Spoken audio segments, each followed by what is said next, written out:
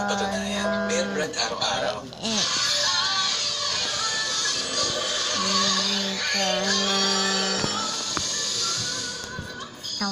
Hindi madali. Anak ko, tiwala sa sarili at sa ibang tao. Pero, darating ka sa punto na wala kang ibang magagawa kundi ang manalig sa Diyos. At sa likas niyang kabutihan, at sa pagmamahal niya sa atin. Dito sisibol ang pag-asa. Bubuti rin yung lahat. Ba yan? Pagbabalik dito ang nawawala. Sama-sama nating ipanalangin upang maligtas sila Myla at Natalie.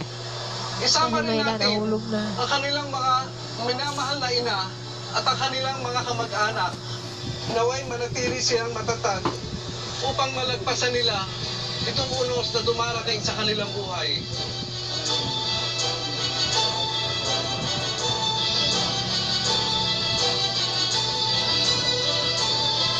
Hmm. Kasi, naniniwala kami sa iyo. Ang ikaw na ng ligtas, please. Kim, Ha?